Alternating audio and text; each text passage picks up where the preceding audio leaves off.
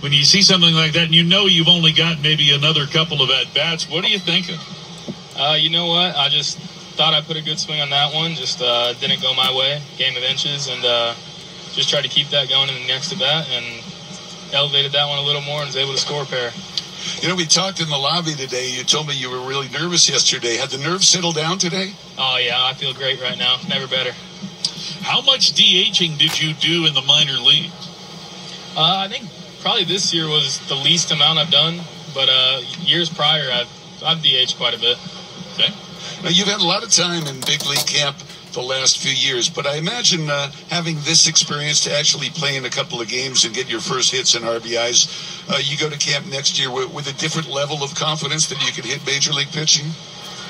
Uh, yeah, I mean, I'm just gonna kind of keep doing me. I mean, I know know what I'm capable of, always have been, and uh, just just gonna try to make the most of my opportunities. I know your folks are here. How many other folks uh, do you have here uh, today?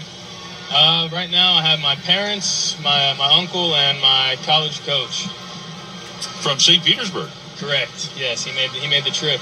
That's fantastic. We're delighted to uh, have watched you today and uh, share in your success. Uh, thanks for joining us. Thank you. Dustin Harris will be our guest at Katy Trail Ice House.